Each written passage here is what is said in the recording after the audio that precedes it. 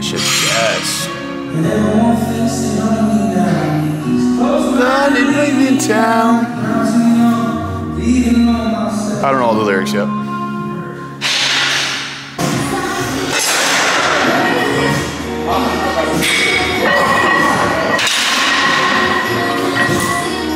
Fucking heavy.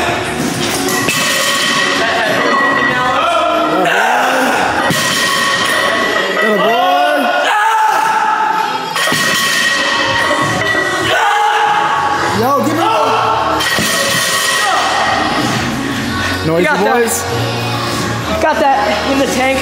Was expecting two. What was going through your head during that set? What? It, Chris Wertman's a bitch and I need to beat him. That's what. I'm not gonna be on.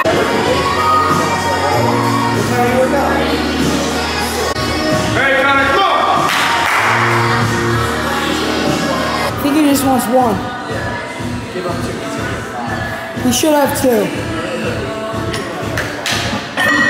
Oh, he's got a lot this one. What's going on, fam? It is currently 2:30, August 26, 2023, and I wanted to film this morning's workout with Zach. Me and Zach trained legs. We went absolutely fucking crazy this morning. One of the most intense workouts I've had in a while. And then I did an hour-long cardio circuit outside. Got a bunch of content together at the club. I edited last night's video, the new era, and then I like mocked up some posts on my Instagram in my draft. So it feels like really fucking good right now. It feels really good to be back vlogging. It feels really good to be um, like putting continuous content out to feel like I'm looking good, look good, feel good, play good. Um, that's what we always say. So things are like starting to roll, and I feel that momentum is really turning into the right direction right now. So um, today's going to be kind of like a busy afternoon. I got a few things that I need to get done. I just went tanning, um, going back to the club real quick, and then I need to help uh, a friend of mine move and like move some stuff out of his apartment, and then I'm also gonna be going to look at a new piece of gym equipment. Not sure what's going on like after that tonight, but just gonna keep on hustling. So I'm gonna take you guys along for the ride. Uh, I figured it would be something different, get you out of the gym. So stay tuned. We we in Chris's car. You know you know what it's about. Um, I'm zoomed in. Hold on. I don't know what that guy's been up to, but I am taking his car. I am taking his life. You know. Uh, that that sounded bad. Um, right now I'm squatting. I hit 405, 44. Wish I had five. Did not have five. Um, Chris, unfortunately, he's a bitch for real. But you know, he's gonna be mad. I'm taking up his SD card. You know, shit like that. But you know, I'm the better vlogger. I'm the one here. You know. Ready? Beep. All right, let's go. Let's go see what's going on at the club. You know. Dave, Dave. See what's going on with Connor. Ah.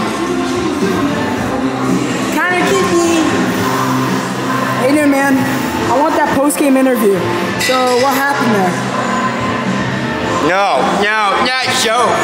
What happened? Not show. I didn't tell him shit. So, what happened? You wanna hear what happened? Oh, I have a hernia. Son, you probably do. in My fucking. Uh-oh. What do you think about Connor Bisbee? I think he's very strong. I feel like He's such a sweet little boy. I just hit that shit. Not, for you know what not is? Call me Dave. the horniest guy you're ever gonna meet. You having the bitches over tonight?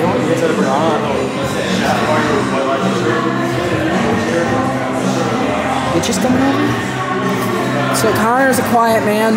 Um, last night, tell, tell him the story how you thought something broke in your house. Bro, I heard some some fucking Bro, yelling outside my house, Bro, and I went downstairs, and I saw some fucking flashlight in front of my main door.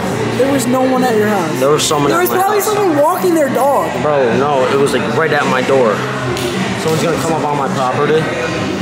Then you kill that motherfucker. I was about to. with a Minecraft sword. Bro, it was a fucking That shit Bosnian. looked like something from Minecraft. It was a wooden dagger from Bosnia, pussy. I'll fucking kill you, Alex. This is Chris. All right, what's going on, fam? It is currently 3 o'clock and I'm just leaving the club. I am heading north to the Sacandaga Lake area in order to visit Kyle, who is the owner of Key Sparkling Water. Her husband builds gym equipment. So he's a welder and can manufacture just about anything that you can think of. So about a month ago, I said to Kyle, I was like, you know what I really want for like the gym is a pendulum squat, like a full blown pendulum squat. I used it at Alphaland, I used it at Fusion Gym, and everyone knows that I love legs. So I was like, that would be like a sick piece of equipment, really unique, kind of new.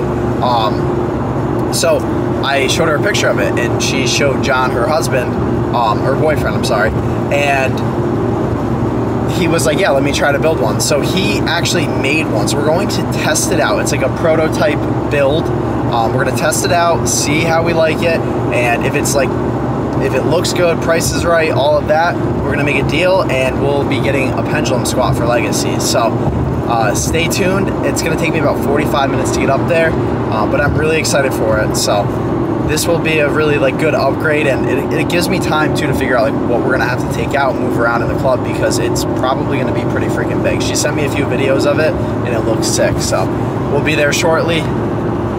See you in a few. That was so cringe. Still getting like used to doing this shit again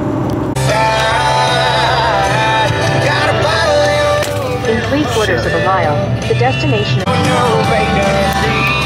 We are in Johnstown, I believe, Gloversville area, and it is really cute out here. I don't know if I've ever really like explored. I went through Fonda, saw like the fair. I probably went there at some point when I was a kid, but it's like super old school. Like there's like sign, like I don't know, like there's like uh billboards and um just like it just feels like I don't know, like it's like a, a throwback town. It's just like a hallmark town. Uh, all these little towns, so super cute. I want to say cute vibe.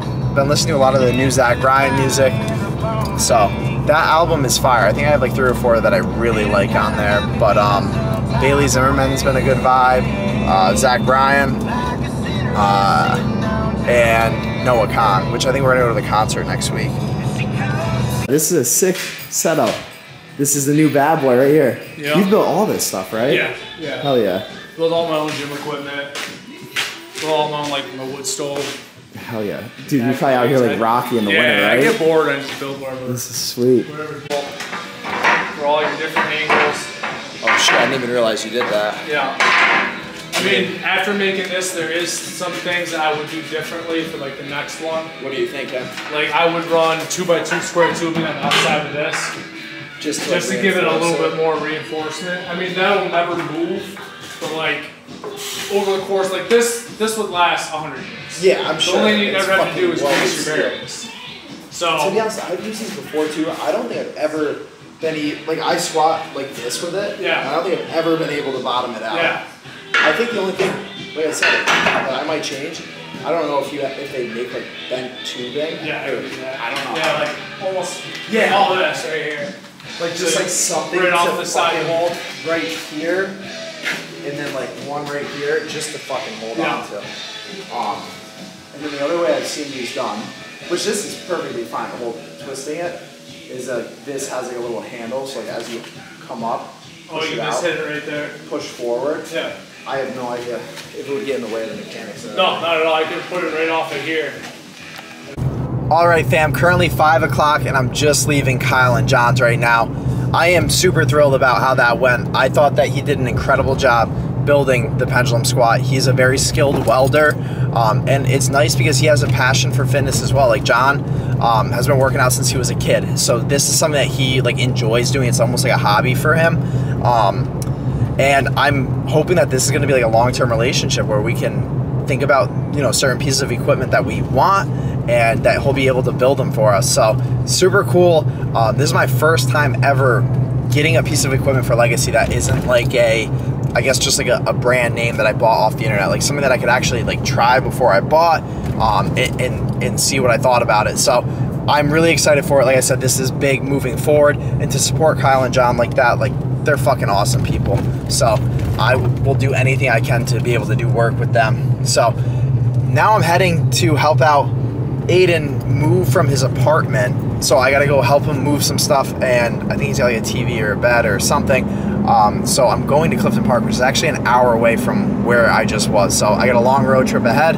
Um, probably get there around 5:30, 6 o'clock, and yeah, we'll see where else this day takes us. All right, fam.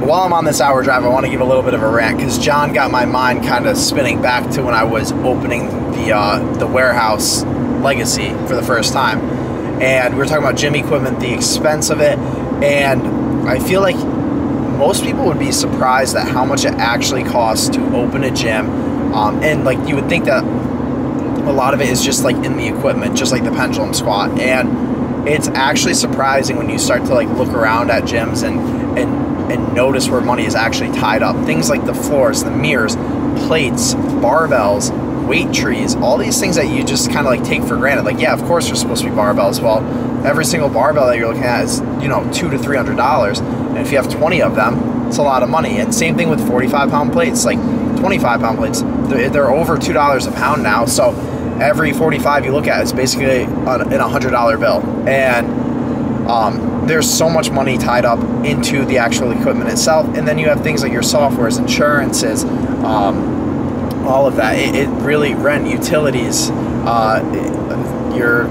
cable bill, all that. So it, it adds up so quickly, and it's is super expensive. And something that I've always like taken pride in, and I feel like John was blown away is when he found out that I don't have any investors, I don't have any loans, none of that. Like I, I was able to save and reinvest into the company and do everything from scratch, literally nothing. And I mean, thinking back on, it, I'm not really. there was a lot of like number crunching and just doing the best that I could with what I had. Um, but I take a lot of pride in that, and it just shows like, you know, anyone can really accomplish anything because uh, I had the vision and I just knew that if I consistently worked towards it, that at some point I would have enough money to do what I really wanted. That at some point it would work, and it, it's like showing up every day, even when you don't feel like it, and also knowing that every day is a step closer, regardless of how it feels. So just continue to show up, whatever you want to do in life, whatever that vision is for you. Keep showing up for it. Keep grinding. Keep hustling one day at a time. When it when you don't feel like doing it, when you feel like you're making no progress, just keep doing it. Because I promise, if you do it and do it and do it, at some point, everything's gonna work out the exact way that you had envisioned it. So that's something that I like am super passionate about because I feel like as humans, we all have this innate like ability and skill, and we have something that we really desire. But it's just a matter of going out there and getting what you want. So, um, damn, whatever it is that you want show up every day and fucking make it happen. Regardless of what it takes you're gonna get there. So we'll catch you in a little bit here